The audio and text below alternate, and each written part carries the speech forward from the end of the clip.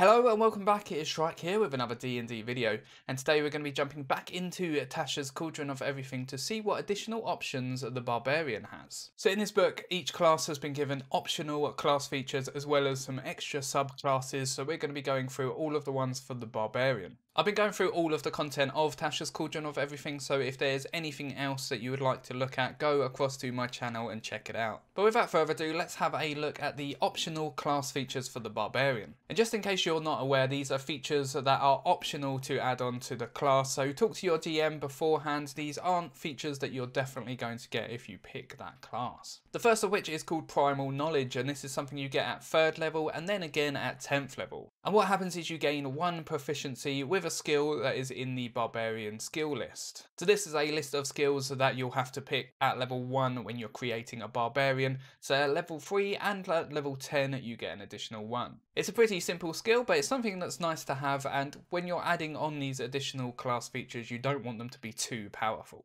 And then the second optional class feature that Tasha's Cauldron of Everything adds is called Instinctive Pounce. And with this feature, when you use a bonus action to enter your rage, you can move half of your speed.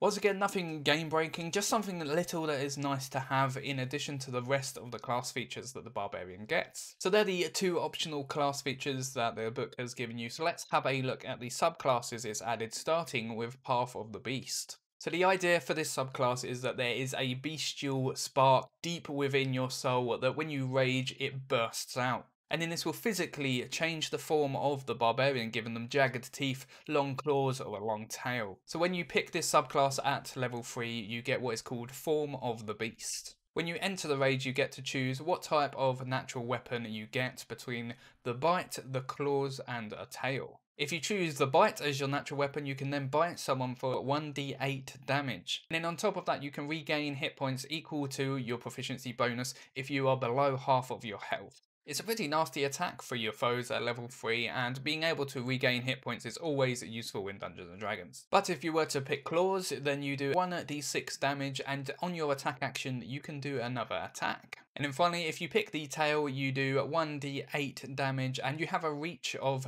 10 feet. On top of that you get a reaction where if a creature hits you with an attack roll while they're within 10 feet of you, you can roll a d8 and then put the outcome on your AC which is a pretty nice ability, especially if you are going for a more tanky barbarian build. The next ability you get from the subclass is called Bestial Soul. And the first thing you get from that is that your natural weapons now count as magical, which is always something nice to have later on in the game when there are quite a lot of monsters that have resistant to non-magical attacks. On top of that, you get a choice when you finish a short or long rest to adapt to the environment around you, gaining one of the following benefits. You can either gain a swim speed equal to your walking speed and the ability to breathe underwater. You can gain a climbing speed equal to your walking speed and the ability to walk on difficult areas, including the ceiling. Or you can choose that when you jump, you can do an athletics check and put the outcome of that roll onto the distance of your jump. All of these are pretty nice to have and you can swap them out whenever you have a short or long rest. So if you know what sort of environment you're going into,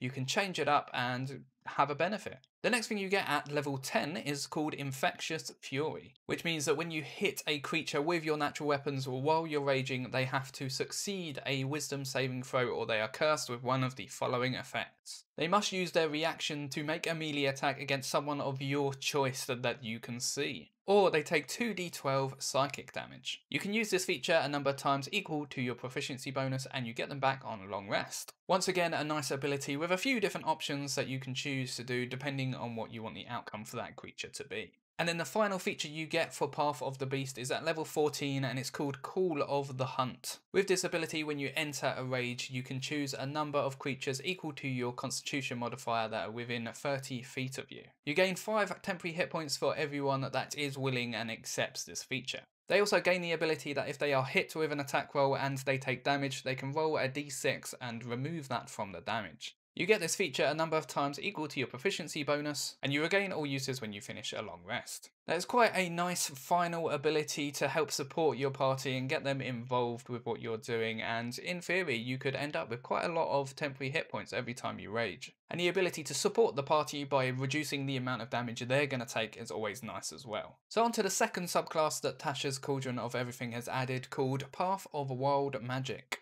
This subclass is all about being transformed by magic and being more susceptible to the wild magic around the multiverse. Starting with the first ability that you get when you unlock this path at level 3 called Magic Awareness. And with this as an action, you can open your awareness to the magic around you and any magical spell or magical item within 60 feet of you, the location is revealed, as long as it's not behind total cover. When you sense a spell, you also learn the school of magic that it belongs to. And you can use this feature a number of times equal to your proficiency bonus and you get all of your uses back at a long rest. This is a feature which is only really going to come in handy if there is a lot of magic in your world, or at least enough to make it worthwhile. But it's always uh, something nice to have, and using this you can find out if a creature has magical items on their being that maybe they were trying to hide from you. You also get another ability when you pick this path at level 3 called Wild Surge. And with this ability, whenever you enter a rage, you have to roll on this table, getting one of the effects. Similar to the Wild Magic Sorcerer, this is to add an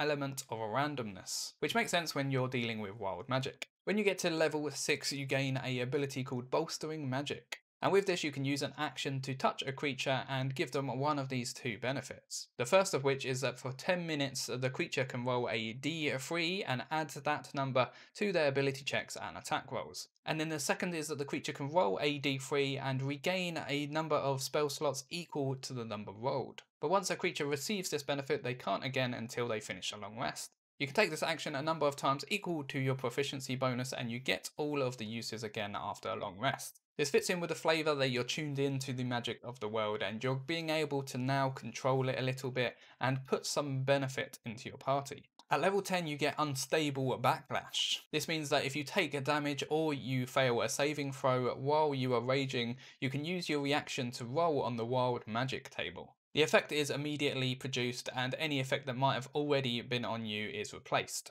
This is doubling down on the whole wild magic theme and the randomness of this subclass. And then the final ability is at level 14 and it's called Controlled Surge. And this means that whenever you roll on the wild magic table, you can roll a second time and decide which of the outcomes you have. And if you roll the same on both of the dice, you can then ignore the number completely and pick whichever outcome you want.